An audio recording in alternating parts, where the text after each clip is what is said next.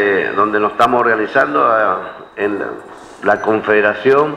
de Sindicatos del Mercosur. ¿Qué significa esto? Todos los sindicatos de empleados de comercio del país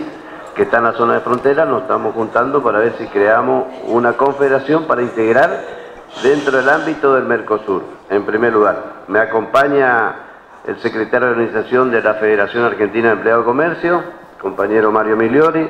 el secretario de Relaciones Internacionales de la Federación, Rubén Cortina, compañero secretario general de Río Cuarto y directorio de OSECAC, este, José Luis Oberto, el compañero Vélez, que también es director de OSECAC, secretario general de Tenereo Chubut, actualmente es candidato eh, al Parla Sur por la provincia de Chubut,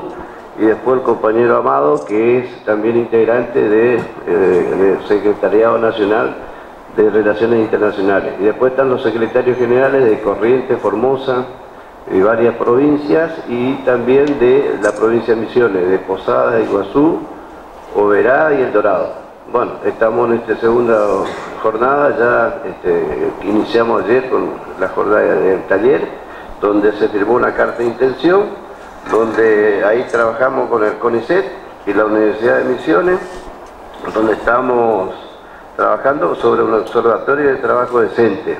que es lo que tiene el punto fundamental, ¿no es cierto?, para lo que venimos ya llevando adelante esto. Hicimos varias reuniones en Iguazú, en el Paraguay, en Uruguay y acá en la Argentina.